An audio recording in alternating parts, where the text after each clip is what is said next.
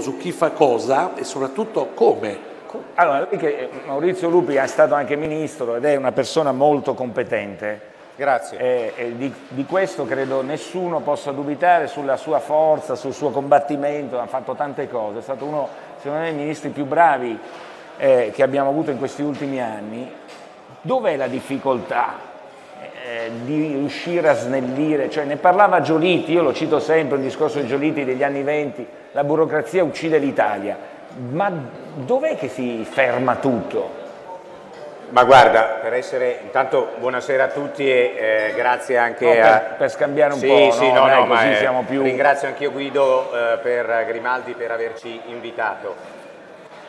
Purtroppo nel 2014, 2013, 14 e 15 quando ho fatto il ministro c'era un dato che rimane ancora ad oggi per capirci. Per fare un'opera pubblica da 100 milioni di euro oggi occorrono 17 anni e 6 mesi.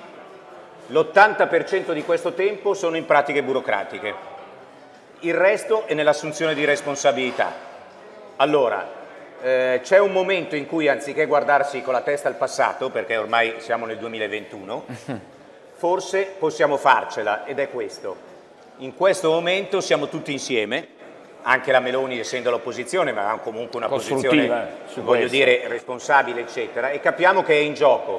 221 miliardi di euro, abbiamo appena approvato i 30,6 miliardi di euro complementari, in sei anni, perché i tempi sono dettati, la possibilità di rilanciare l'Italia, il tema delle infrastrutture complementari, cioè non solo singole, materiali, immateriali, porti, interporti, strade, autostrade, tu sai meglio di me, in questo cavolo di paese abbiamo costruito l'alta velocità e non l'abbiamo manco collegata alle, ai tre grandi aeroporti internazionali, perché ognuno ragionava per conto proprio.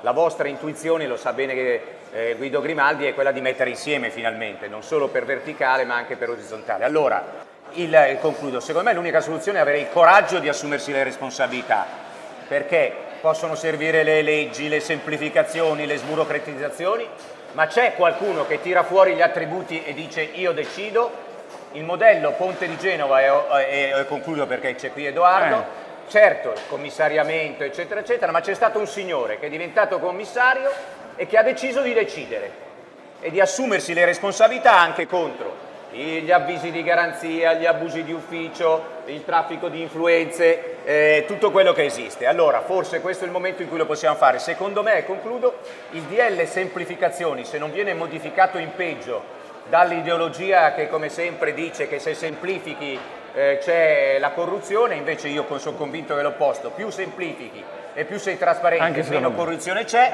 forse meno passaggi hai, eh, meno passaggi meno hai, passaggi hai eh, quanto meno tu, riduci. Se tu dici una concessione te la do in 60 giorni, e perché devi? Te la do in 60 giorni, certo. se poi non te la do, eh, guarda cosa hanno fatto sul 110%, bonus, una buona cosa, 95 passaggi burocratici, adesso hanno avuto il coraggio di capire che presenta la CILA e vai avanti. Senta Cangiano, visto che la,